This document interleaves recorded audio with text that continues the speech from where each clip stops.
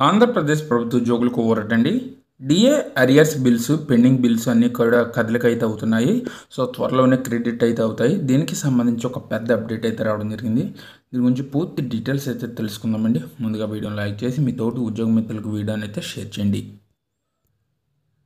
Pay bills info అంటూ ఒక update అయితే రావడం జరిగిందండి.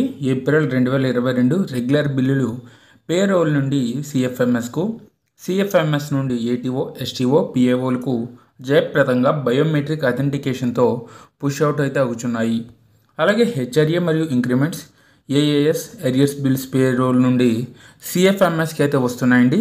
కానీ సిఎఫ్ఎంఎస్ నుండి ఎస్టీఓ ఏటీఓ పిఏఓలకు డ్యూ టు ఇన్సఫిషియంట్ బడ్జెట్ అనే కారణంతో పుష్ అవుట్ అయితే కావడం లేదు. సో ఇది ఒక సమస్య అయితే పరిష్కరించాల్సి ఉందండి. అయితే రిటర్న్ అయిన గత ఎఫ్ఐ బిల్స్ రీవాలిడేషన్తో సిపిఎస్ వార్ డిఏ ఏరియర్స్ కొన్ని సిఎంఎఫ్ఎస్ నుండి పుష్ అవుట్ అయితే అగుచున్నాయి సో ఇదైతే గుడ్ న్యూస్ అండి. రిటర్న్ అయిన బిల్స్ అయితే రీవాలిడేషన్తో మళ్ళీ సిపిఎస్ వారి నుండి డిఏ ఏరియర్స్ సంబంధించిన కొన్ని బిల్స్ అయితే సిఎఫ్ఎంఎస్ వెబ్సైట్ నుండి పుష్ అవుట్ అయితే అగుచున్నాయి అయితే గత ఫైనాన్షియల్ ఇయర్కి చెందిన నాన్ సిపిఎస్ రిటైర్డ్ వారికి DA arrears bills SSA PD accounts bills resubmit insufficient పేరుతో కావడం లేదు.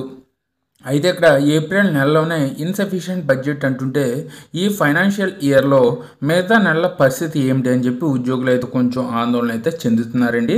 గత ఫైనాన్షియల్ ఇయర్కి సంబంధించి జెడ్పీపీఎఫ్ ఏపీజీఎల్ఐ బిల్లులు కూడా రీవాలిడేట్ చేసి సిఎఫ్ఎంఎస్లో సబ్మిట్ అయితే చేశారు. సో ఒక్కొక్కటిగా సమస్యలు అయితే పరిష్కారం అవుతున్నాయండి. సో కొన్ని డిఏ ఏరియర్స్ బిల్స్కి సంబంధించి ఇన్సఫిషియంట్ బడ్జెట్ అని వస్తుంది. దీంతో కాస్త ఉద్యోగ ఉపాధ్యాయులు కొంచెం కన్ఫ్యూజన్ అయితే చెందుతున్నారు. సో త్వరగా ఈ సమస్యను తీర్చాలి. సో మిగతా పెండింగ్ బిల్స్ అన్నీ కూడా ఆల్రెడీ ప్రాసెస్ అవుతున్నాయి కాబట్టి ఖచ్చితంగా అన్ని ఏరియర్స్ బిల్స్ సంబంధించి ఈ నెలలోనే పెండింగ్ బిల్స్ అయితే క్లియర్ అయితే అవుతాయి. సో ఇదండి వాళ్ళ అప్డేట్ థ్యాంక్ యూ